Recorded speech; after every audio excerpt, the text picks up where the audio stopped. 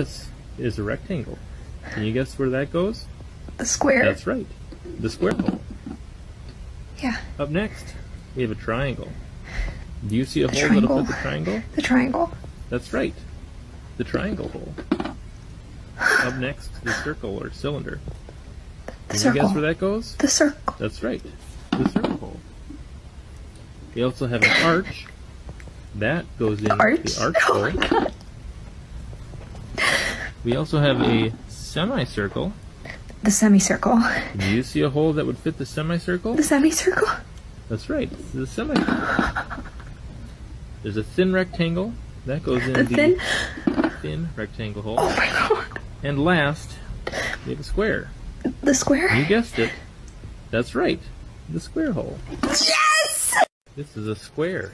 Can you guess which spot that goes The in? The square. That's right. It goes in the square hole. Yes. And how about this rectangle? That one Also the square. that goes in there too. Yeah.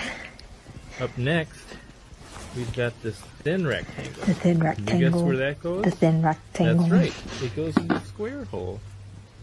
And up next, a cylinder. Hmm.